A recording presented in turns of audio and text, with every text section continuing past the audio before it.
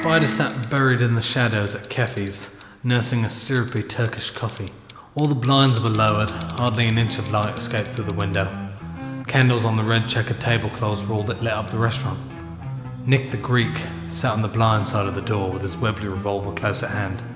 His bodyguard, a Greek Cypriot, sat nibbling at a bowl of olives on the open side, tapping his bowie knife in time to a lively bouzouki record playing through the tinny speakers behind the bar.